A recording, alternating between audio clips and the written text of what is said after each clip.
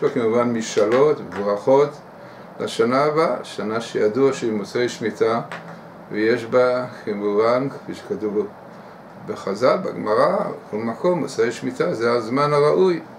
בצאת השנה, יציאת תשע"ה, אנחנו ממש יוצאים מימים אלה מהשנה הזאת ונכנסים לתשע"ו וכפי שאמרנו, זמן מאוד מיועד לגאולה, ברכה וזו המשאלה באמת, ראש השנה, צריך להתכוון טוב ולהתפלל לשם כך. בטבלה הזאת נראה באמת בצורה מעניינת ההופעה, באמת הופעה שמצא אותה כפי שנראה לי מצא, מצאו אותה, או שזה נמצא ב...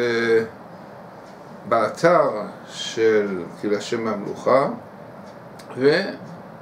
וראינו בעצם שיש פה תוספות מאוד מעניינות שמוסיפות גם עניין ומשמעות לטבלה הזאת. אם כן, מה אנחנו רואים בטבלה? כן, בטבלה אנחנו רואים פה הופעה פעם אחת של תשע"ו, משיח בא, יבוא, ובצאת עם יציאת השנה התשע"ה, מעניין ביותר, ממש דילוג מינימלי. יחד עם זה, מה שמצאנו פה גם את העניין פקוד בני ישראל, זה זמן של פקידה של עם ישראל.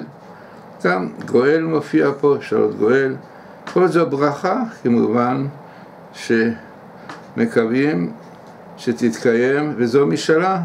מאוד מעניין שהופעה של מילה בהגבלה, יש לה משמעות, אם כן ברור שזו משאלה מעומק לב לגאולה, שבאמת יבוא משיח בשנה הזאת.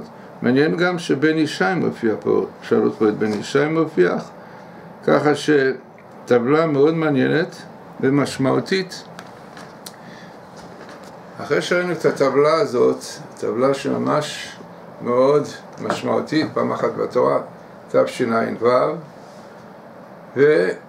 וההגבלה של משאלה, ברכה מופיעה, בן ישי, כל זה כמובן מופיע במקום אחד, שזה מאוד משמעותי, ויש כמובן לראות בזה משאלה ותפילה וברכה, וזה מה שאני רוצה לברך את הצופים, אלה שרואים את היוטיובים שלי, וכמובן שהמטרה היא להראות שהתורה היא שורש הכל, שהשם ברא את העולם והתורה, הסתכל ברייתא ובעלמא התורה הייתה תוכנה של הבריאה ולכן הכל נמצא בה.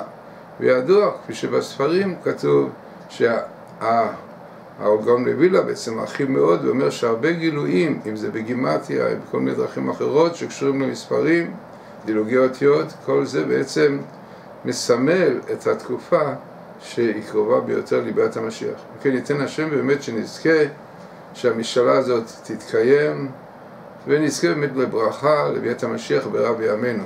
כן, אנחנו ממש לפני ראש השנה, ניתן השם באמת שהתפילות שלנו יעלו מעלה, כל השופר יעורר, ממש נשמע את השופר הגדול שיבוא ויבשר את הגאולה במהרה בימינו אמן.